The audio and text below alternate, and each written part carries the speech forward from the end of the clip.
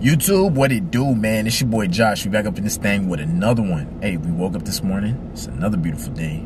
All praise to the Most High, man. Let's get it. Hey, dog, what makes you valuable? What makes people want to continue to be in your life? Why people want you to continue to be a part of their life? Why you're in the circle? Why you're in the organization? Why you are with this certain woman? It's your replaceability. How easily is it for them to replace you. If it's easy for them to replace you, they will replace you. As soon as you start making mistakes, as soon as you start acting out of pocket, or as soon as they stop having patience with you, you will be replaced and you will be quickly kicked to the curb. That's with in the business world, that's within the market, and that's with relationships, personal relationships. Because we're all flawed. There's always going to be something that where we're not fully good at. But people are willing to deal with our flaws and willing to love us throughout those things and have patience with us if we become irreplaceable. You know what I'm saying? Like how that one kid that was on the football team that was bad as hell but he was so cold at football, the coach gave him any shot that he could, stretching his patience, trying to make sure he could stay on the field, doing whatever he touched. Because why? Because he was so cold on that field. Because he was irreplaceable. He knew that if I, if he was not to play, there was not going to be a substitute that can easily do what he did. But say for example, there was some player that was mid and he started getting in some trouble and stuff like that, bro. They quickly would have been like, all right, next man up. I already got somebody that can be just just as good as you that's doing everything. Why? Because you're not doing nothing special. You're not doing anything that's non-common. If it's common, that means somebody else can do it. If your skills is common, you're not special. And so we have to understand that we when we're when we're improving and what, what we're trying to do, it's not like we're trying to get to an end goal or something like that, but we're constantly improving, trying to become scarce trying to be less scarce where people can look at us and be like, oh, I don't want to get rid of him. He he got some skills, or oh, I, I don't want to lose my lose him because he look how valuable he is. Look how how my life has changed, and he's such a good man, and yada yada yada. You know what I'm saying? Think of it like you know, as as y'all go get y'all haircuts. You know what I'm saying? Every two weeks, which y'all should be doing. You know, that's the first thing. Let's let's talk about that. Y'all don't need to be walking around with no patchy beards Y'all need to be coming out here so big, some beards that ain't lined up. Or walking around with haircuts where you got hair growing on your neck, connecting your back hair to the hair that's on your head. You just got hair everywhere, bro. Like groom yourself every two weeks. Definitely don't go a month without grooming yourself, bro. Take care of yourself, dog. But anyways, back to the video, dog. You go to that barber over and over because why? Because he offers a unique experience his experience isn't the experience he has while you are getting your haircut is not like the experience of other barbers. If it's like a other barber that just say, "Here, bro, sit in a chair." Here I am. I'm gonna do 20 minutes on your haircut. You, you, you, you might when you get out the chair, you might say it's all right. He didn't make you feel welcome. Didn't make you feel special didn't want to incentivize you to come back asking for more. But there was this one barber that offered you this unique experience, talked to you, made you feel welcome. When you got out the chair, you felt fire. You felt confident. Why? Because that cut was fire, bro. Oh, I'm gonna keep going back to him, and you kept going back over and over and over. And then when even when they said, "Hey, my prices is going up," you still gonna keep going to him. Why? Because they offer something experience. You knew that if you could, if you go and you try to go somewhere else and get that same experience, it wasn't gonna happen happen. It wasn't going to be the same. What has happened? That barber has worked on himself to get to that point where he became irreplaceable. Ladies, when you go get your hair done, you go to the same girl that do your hair. You go to the same woman that do your braids. You don't trust nobody else to do your braids because why? Because they don't offer that same experience. Yeah, I'm pretty sure a lot of people can braid hair, but this one person right here, she braids hair a certain way to the point where she like, I don't care, I'm going to her. Oh, I need to. Oh, the appointment, the only time slot you got is 10 p.m. Uh, yeah, that's gonna be inconvenient, but it's worth it. Yeah, it, I'm, I'm gonna make it work.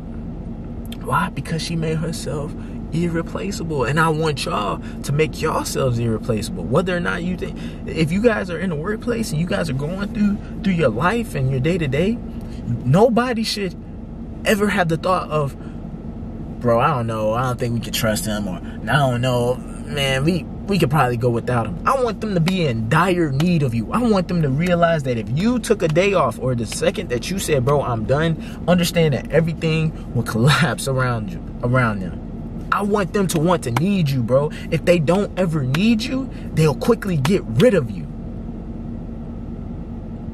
So, guys, I need y'all to embrace your individuality.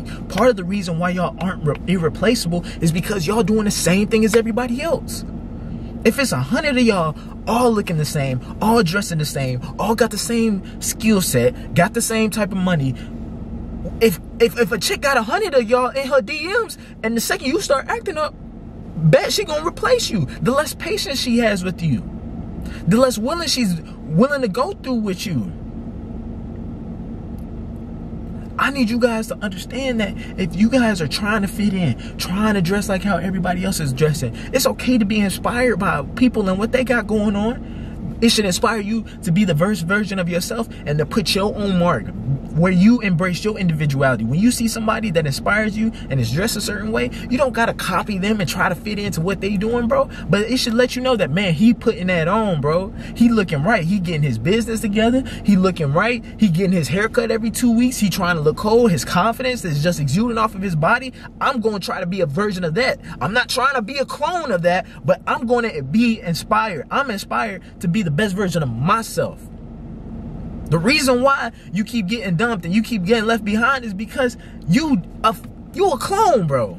You is a clone. You do the same thing everybody else do. You do the same hobbies. You do the same thing every weekend. You uh you drink the same drinks as everybody else. You don't ever offer no unique experiences, bro. Hold on, man.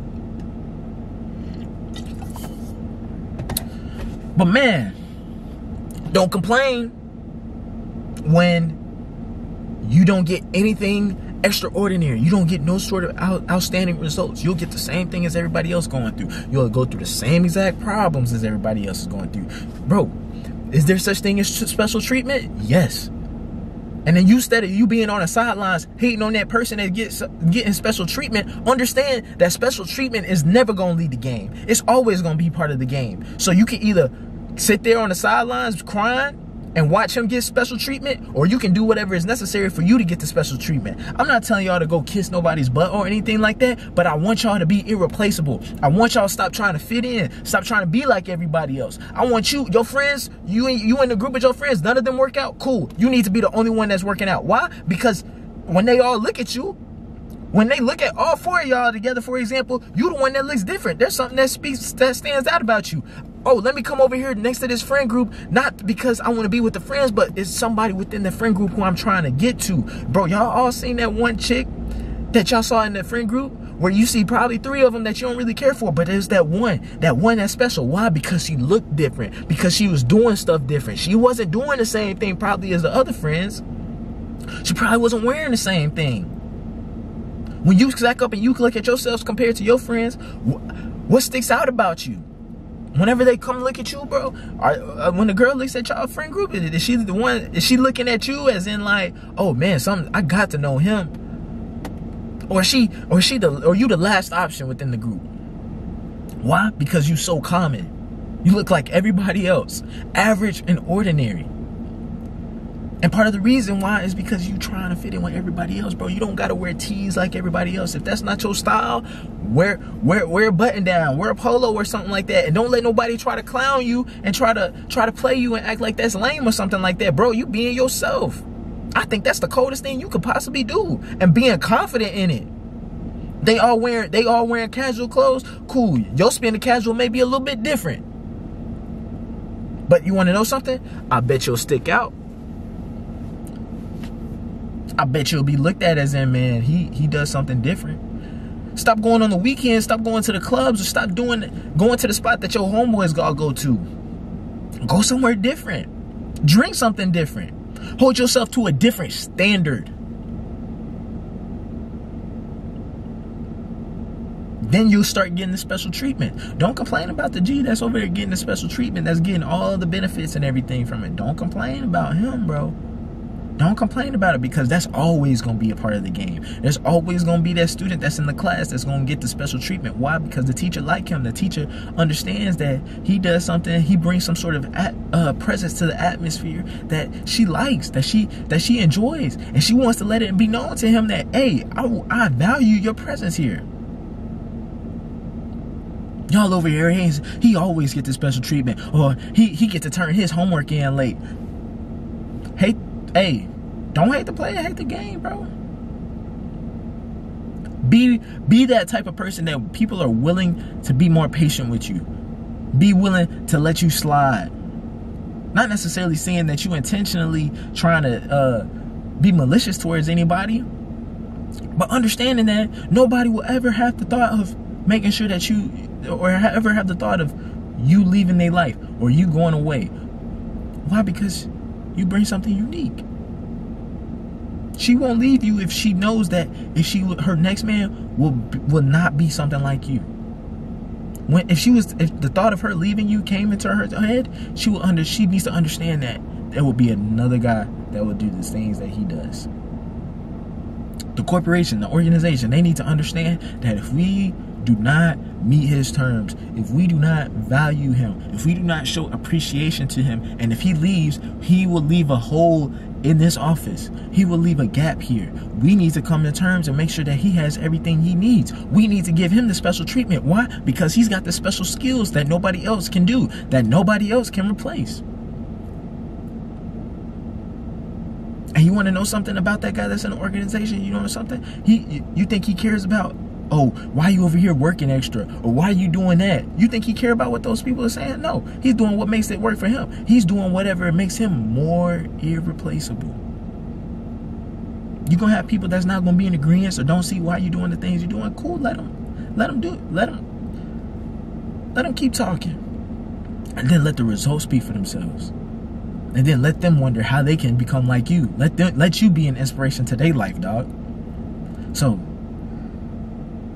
Fellas, stop trying to fit in. Embrace who you are. And just be the coldest version of that person of yourself. Just be colder. Just be colder. Don't try to fit in. That's all I got for y'all boys. Make sure y'all like and share. I'ma holler at y'all.